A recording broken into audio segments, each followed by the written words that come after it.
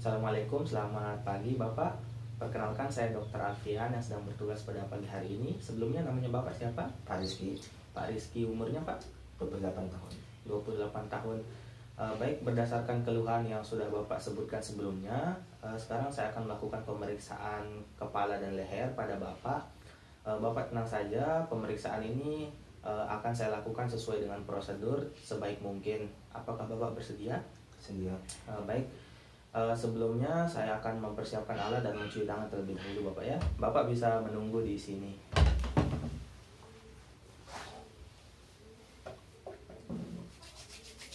Di sini alat-alatnya ada penggaris, pen light, eh, cotton bud dan stetoskop.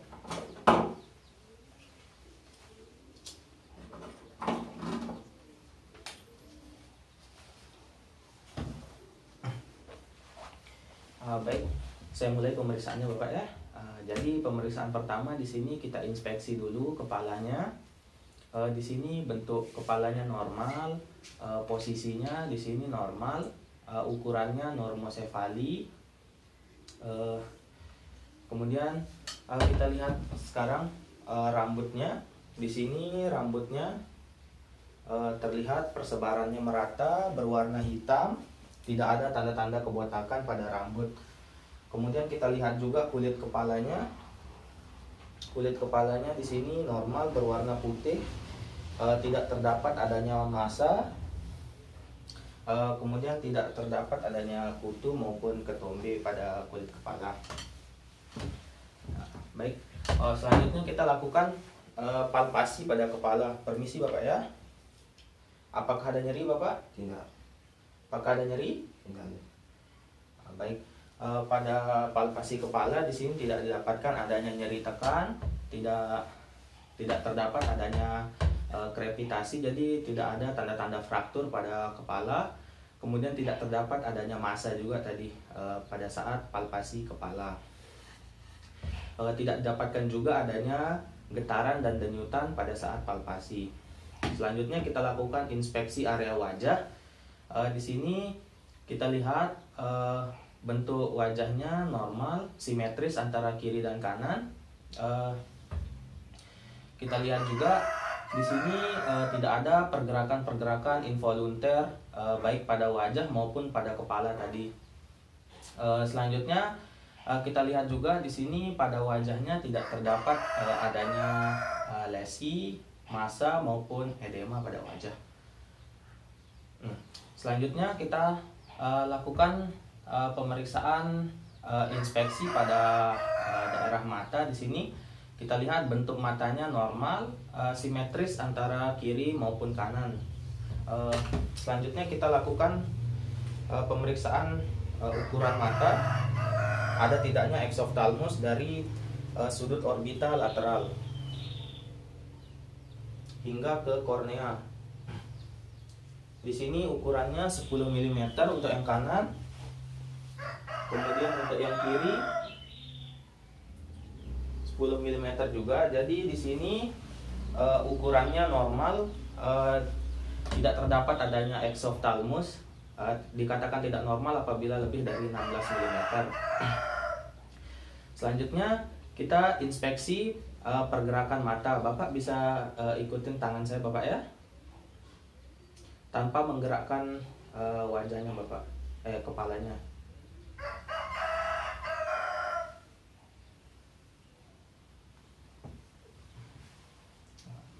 Eh, baik untuk pergerakan bola mata di sini semua normal, tidak ada keterbatasan gerak pada eh, bola mata.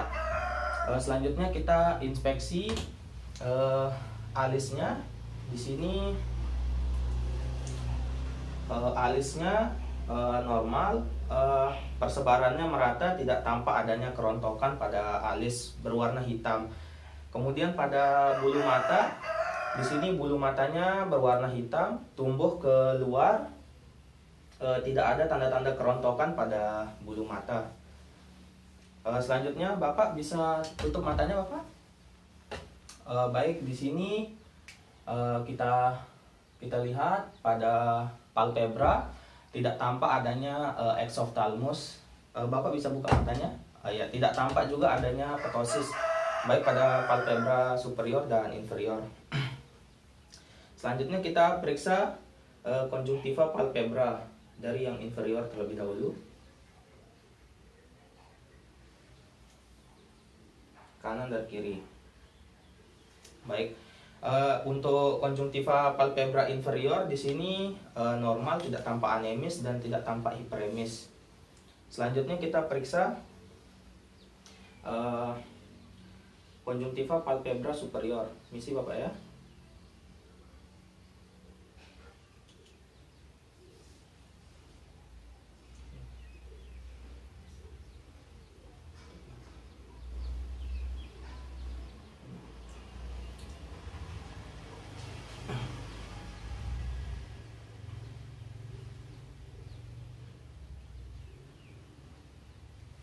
Uh, baik untuk konjungtiva palpebra superiornya uh, kita lihat di sini tidak tampak anemis dan tidak tampak hiperemis.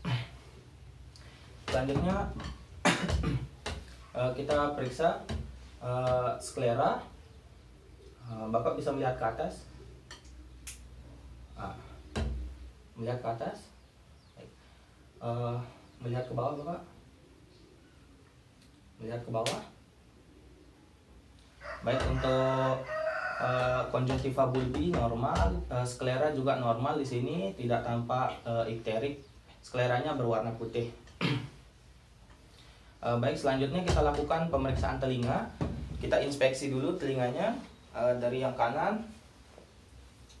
Uh, di sini bentuk telinganya normal, posisinya juga normal, tidak ada tampak adanya deformitas. Yang kiri di sini juga e, bentuknya normal, e, posisinya normal, kemudian e, ukurannya normal. Tidak tampak adanya deformitas pada telinga kiri maupun kanan. Kita lihat juga di sini e, pada telinga tidak tampak adanya lesi kulit e, maupun massa. Kita lihat yang telinga kanan juga di sini tidak tampak adanya lesi dan e, massa pada telinga. Selanjutnya kita lakukan palpasi pada telinga. Apakah ada nyeri Bapak? Tidak ada. Kemudian preaurikular, apakah ada nyeri? Tidak ada. Postaurikular dan mastoid, apakah ada nyeri? Tidak ada. Uh, baik, uh, tidak ada nyeri tekan pada telinga. Uh, di sini juga tidak didapatkan adanya tanda-tanda radang pada telinga dan mastoid. Selanjutnya kita lakukan pemeriksaan hidung. Sini kita lihat hidungnya e, bentuknya normal, e, ukurannya juga normal, simetris antara kiri dan kanan. Kita lihat juga di sini pada hidung tidak tampak e, adanya deformitas, warna kulitnya normal, tidak tampak hiperemi, tidak ada lesi kulit pada hidung. E, selanjutnya kita inspeksi daerah e, septum. Bapak bisa menghadap ke atas, Pak. Kita inspeksi septumnya.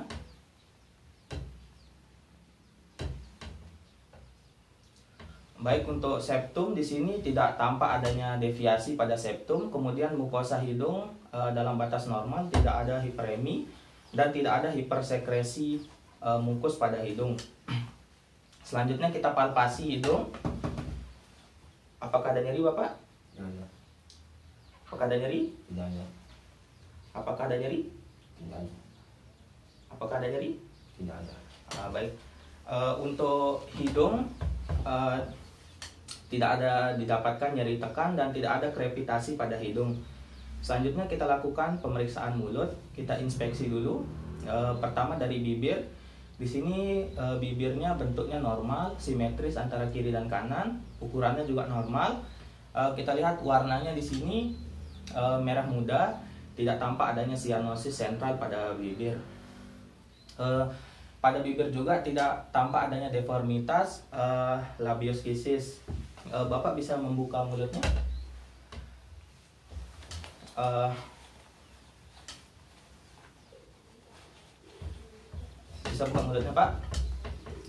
Kita lihat pada daerah palatum uh, normal tidak terdapat adanya palatus kisis. Uh, kita lihat uh, giginya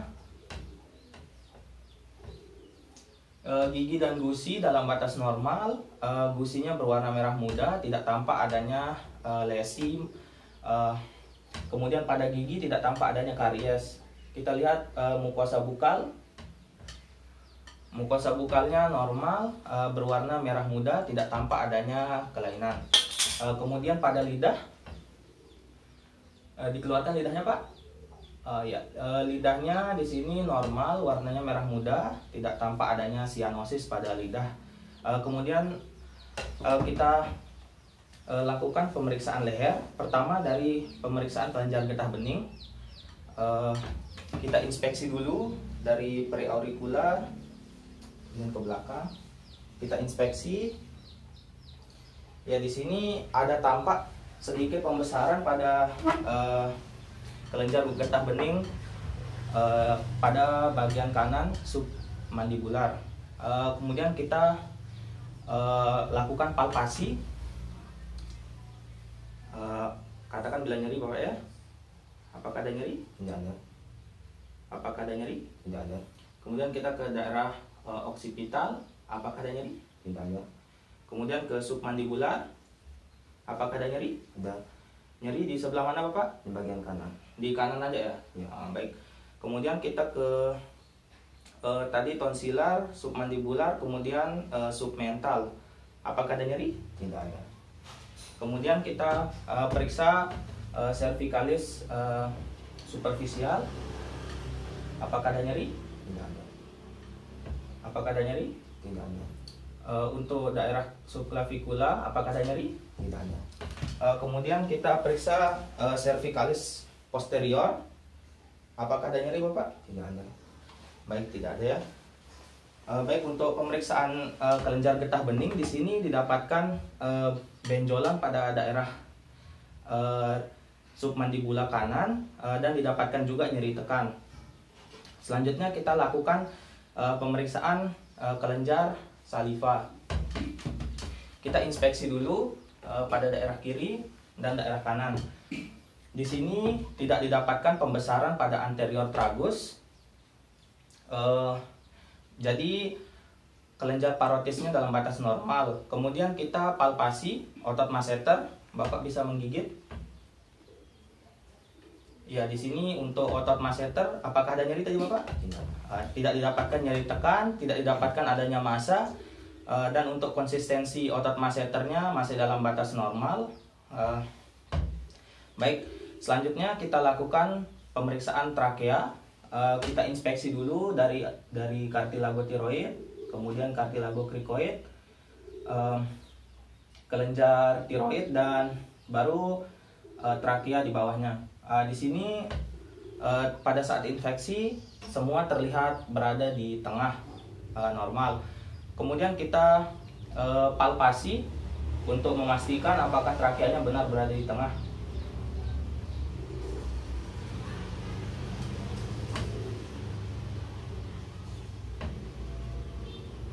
Ya baik. Uh, untuk palpasi di sini uh, tidak ada didapatkan deviasi trakea. Trakea tepat berada di tengah. Nah, selanjutnya uh, kita lakukan pemeriksaan kelenjar tiroid. Uh,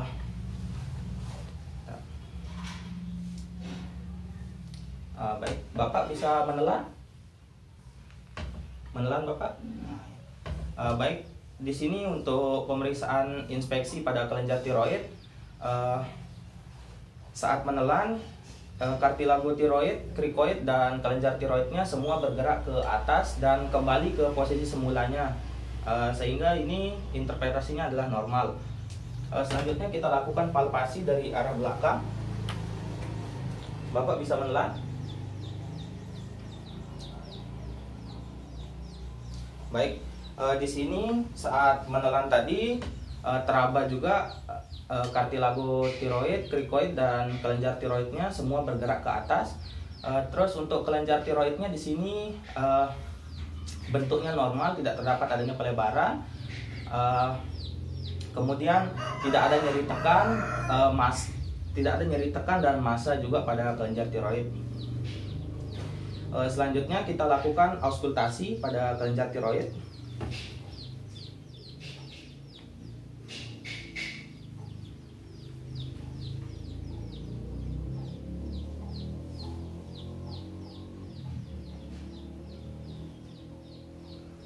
Uh, untuk auskultasi kelenjar tiroid tidak didapatkan suara brui goiter, brui goiter. Selanjutnya kita lakukan uh, inspeksi pada arteri karotis kiri maupun kanan. Di sini saat inspeksi tidak terdapat adanya pelebaran pada arteri karotis, tidak tidak tidak terlihat juga adanya uh, pulsasi dan trill pada uh, arteri karotis. Selanjutnya kita uh, palpasi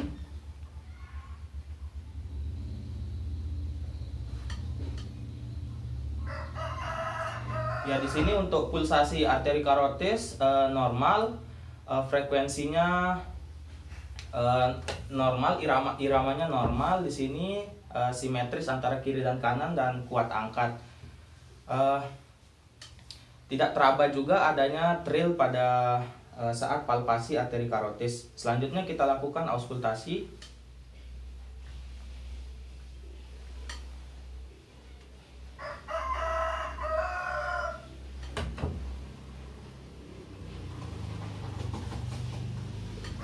baik. Uh, untuk auskultasi di sini suara arteri karotisnya normal, tidak terdapat adanya suara brui. Uh, baik di sini untuk uh, temuan patologis pada pasien tadi didapatkan benjolan uh, dan nyeri tekan pada uh, kelenjar getah bening kanan submandibular. Uh, baik Bapak, jadi di sini pemeriksaan sudah selesai. Saya akan memper, uh, merapikan alat terlebih dahulu Bapak ya. Nanti saya akan bacakan hasilnya.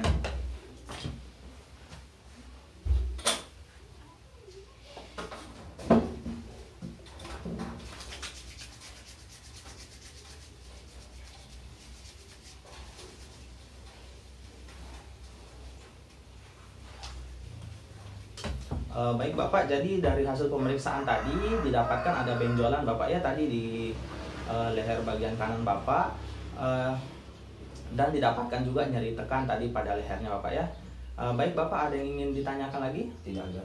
E, baik, e, pemeriksaan sudah selesai Bapak ya. Terima kasih atas kerjasamanya. E, wassalamualaikum warahmatullahi wabarakatuh. Selamat pagi Bapak.